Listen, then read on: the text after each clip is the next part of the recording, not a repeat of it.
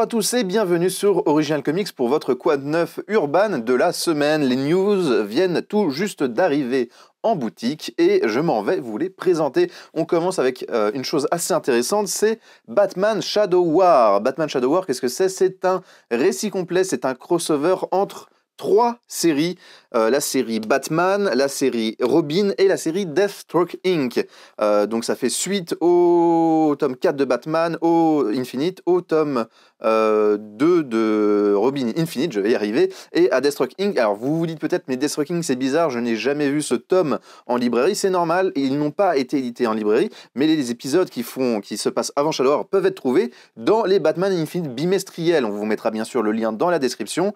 Batman Shadow War, donc c'est un récit crossover entre ces différentes histoires qui voient en fait l'assassinat de Ra's al Ghul bouleverser pas mal de choses et une guerre de l'ombre, comme dans le titre c'est écrit, va se dérouler entre les différents protagonistes. C'est une série assez bien faite qui est euh, notamment scénarisée par Joshua Williamson et qui est euh, dessinée par Howard Porter. Voilà, je cherchais le nom de ce dessinateur qui nous font vraiment du très, un très bel ouvrage en sachant que Joshua Williamson, c'est quelqu'un qui compte beaucoup chez DC Comics.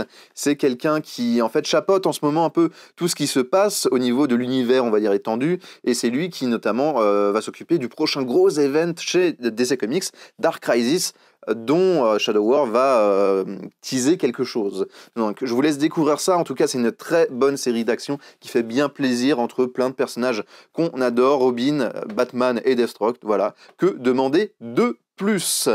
On a aussi, alors dans les, le format intégral de Urban. Injustice 2 qui arrive, et oui, Injustice, vous le savez, c'est cette adaptation en comics de jeux vidéo euh, orchestrée par Tom Taylor, quelque chose qui avait énormément fonctionné à l'époque. C'est ça qui, a, qui, avait vraiment mis euh, Tom Taylor sur le devant de la scène pour l'emmener encore plus haut avec euh, plein de chefs-d'œuvre.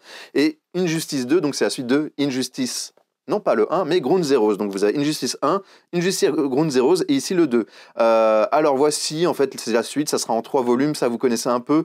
Euh, je n'ai pas vraiment besoin de vous le présenter. En tout cas, c'est une série qui fonctionne toujours aussi bien et c'est toujours cool de voir ça arriver. Dans les choses un peu plus sympas, hein, qu'on voit moins souvent, on a le deuxième volume de Animal Man du euh, formidable Grant Morrison.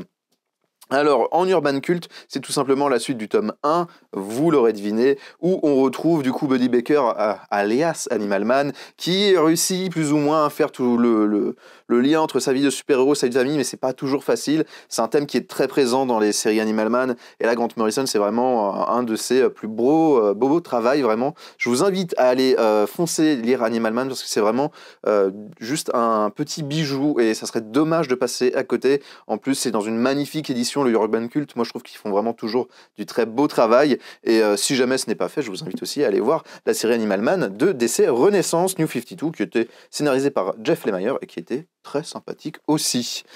Et pour finir, eh bien, on a reçu quelque chose que vous attendiez sûrement, c'est la suite et fin de Descender en intégrale dans le label Urban, ce très beau label grand format. Alors petit, oui, spoiler alerte, puisque on l'a remarqué, beaucoup si vous êtes sur Twitter, ça, a un peu fait parler. Euh, le dos n'est pas rond comme pour le premier tome, mais carré plat en fait. Euh, on ne sait pas ce qui s'est passé, mais voilà, petit couac chez Urban visiblement. Donc euh, désolé si vous êtes vraiment maniaque au niveau de la collection, mais du coup voilà, en tout cas, ça serait quand même dommage de ne pas passer, de passer à côté si vous ne l'avez pas lu. Descender, cette série de Jeff Lemire et Dustin Nguyen, un, vraiment un monument du, de la science-fiction récente en comics, qui est incroyable, dont qui a même eu le droit à un préquel avec Ascender, qui n'est pas encore édité, mais sera peut-être édité. C'est une séquelle. Ah, une séquelle Ascender, désolé. Merci à mon caméraman et cher collègue de me corriger. Et heureusement qu'il est là. Et du coup, euh, du coup voilà, Ascender qui est une séquelle qui arrivera peut-être plus tard dans le format urban, mais en tout cas, on peut retrouver la suite de, cette, de, ce, de, ce, grand, euh, de ce grand monument de la SF euh, qu'un autre de mes collègues m'avait m'avait expliqué, il m'a dit c'est un peu le AI, intelligence artificielle en comics. Du coup, voilà. Donc je vous laisse découvrir euh, ça si vous ne l'avez pas encore fait. Plein de trucs très cool. Mais euh, bien sûr, ce qu'on vous recommande le plus à Original Comics, Vraiment, c'est un énorme coup de cœur. Ça va être le Animal Man de Grant Morrison. C'est vraiment une série de super-héros euh, vraiment, vraiment bien faite, touchante. Et c'est tout ce qu'on aime dans le, dans le comics. Donc voilà, tous les liens sont bien sûr à retrouver dans la description de la vidéo. N'hésitez pas à nous dire dans les commentaires laquelle de ces séries vous attendiez le plus et laquelle vous allez vous procurer. Bien sûr, euh, n'oubliez pas de vous abonner, d'activer la petite cloche pour être au courant des prochaines euh, sorties de vidéos. Et on se retrouve très bientôt.